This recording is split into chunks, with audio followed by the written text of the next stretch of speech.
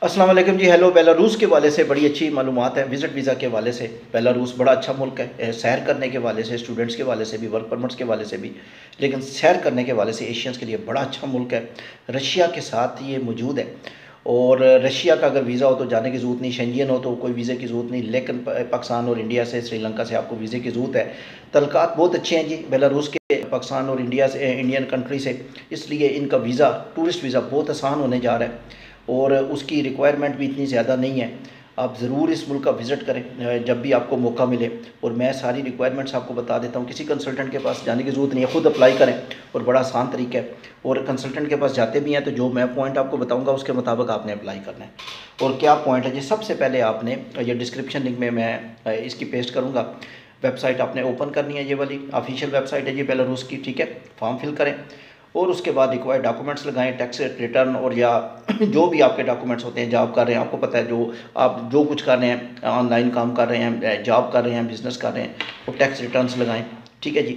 اور bank statement normal سی bank statement چاہیے تھوڑی سی بھی ہو تو چل جائے گی بیلاروس میں۔ اب جو مین چیز ہے جس کی بیس پر آپ کا ویزا لگے گا ای ویزا آپ کو ملے گا ای میل کے ذریعے۔ اب جس پہ ویزا ملے گا، اس لیے میں کہہ رہا ہوں کہ یہ آسان کس لیے ہے؟ جو آپ کو ٹورسٹ آپریٹرز ہیں، انہوں نے اسی افیشیل ویب سائٹ کے اوپر انہوں نے ٹورسٹ آپریٹرز کے نام لکھ دیے آپ اوپن کریں گے، آپ گوگل سے بھی سرچ کر سکتے ہیں۔ ٹورسٹ آپریٹرز کے نام انہوں نے خود آتھورائز کر دیے کہ یہ ہمارے ٹورسٹ آپریٹرز ہیں جو انویٹیشن لیٹر دے سکتے ہیں۔ نارملی جب آپ اسٹوڈنٹ جاتے ہیں تو کالج آپ کو دیتا ہے۔ بزنس کرنے جاتے ہیں تو بزنس پرسن دیتا ہے۔ اب آپ سیر کرنے جا رہے ہیں، آپ کے پاس، آپ کا وہاں کوئی جاننے والا نہیں ہے۔ اگر بزنس میٹنگ کرنی ہے تو بزنس جہاں پہ جا رہے ہیں پارٹنر آپ کا، وہ آپ کو لیٹر دے گا۔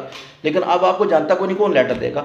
آپ ٹور آپریٹرس ان کے افیشیل یاد رکھیں، ان کے سرکاری یعنی ان کے امبیسی کے اتھورائزڈ ان کی گورنمنٹ کے اتھورائزڈ ٹور آپریٹرز جو وہ خود کہہ رہے ہیں کہ ان کا لیٹر لیں، ہم آپ کو بلا لیتے ہیں، آپ آ جائیں۔ سمپل سی بات ہے۔ آپ ان کو فون کریں ای میل کریں کہ بھی ہمیں چار دن کا، پانچ دن کا انویٹیشن لیٹر اور ہماری ہوٹل بکنگ کرا دیں۔ وہ خود ارینج کر کے آپ کو لیٹر میں سب کچھ لکھ کے دے دیں گے۔ وہی لیٹر آپ نے ڈاکومنٹس کے ساتھ جمع کرانا ہے، کوئی انٹرویو نہیں ہے۔ آپ کا ای لائن ویزا آ جائے ای ویزا آ جائے گا۔ تو یہ آسان کس سلسلے میں ہے؟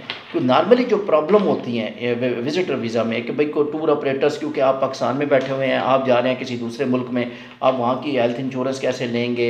ہیلتھ انشورنس ان کی ہے ہی نہیں ہے، دوسرے کنٹریز میں ہے۔ تو بیلاروس میں آپ ہوٹل بکنگ کیسے لیں گے؟ انویٹیشن لیٹر کہاں سے لیں گے؟ وہ اچھا کسی سے رابطہ کریں گے تو وہ کیا پتہ فیک ہے جینون ہے، کیا کریں گے؟ پاکستان میں سے کسی رابطہ کرتے ہیں ٹریول ایجنٹ سے کیا پتہ وہ آپ کو لے کے دے گا، نہیں لے کے دے گا؟ جینون ہوگا، نہیں ہوگا؟ تو وہ بڑی آسان بات ہے کہ آفیشیل جو ان کی ویب سائٹ ہے گورنمنٹ کی ویب سائٹ جیسے آپ امبیسی میں فیس جمع کرواتے ہیں، آپ کو یقین ہوتا ہے، یار، یہ امبیسی کی فیس ہے۔ آپ کسی اور کو دیں گے تو وہ تو آپ کو یقین نہیں ہوگا، ٹھیک ہے نا؟ اپنا کام خود کرتے ہیں۔ آپ اس میں کیا ہے جی آپ نے کرنا کیا ہے؟ What you have to what you have to do you have to just ان کو کال کرنا ہے جی ہمیں انویٹیشن لیٹر انویٹیشن لیٹر آ گیا۔ اس کے بعد اپنے ڈاکومنٹس اگر آپ کے ٹھیک ہیں اور آپ جینون وزٹر ہیں، آپ کو ای ویزا وہ ایشو کر دیں گے۔ Thank you very much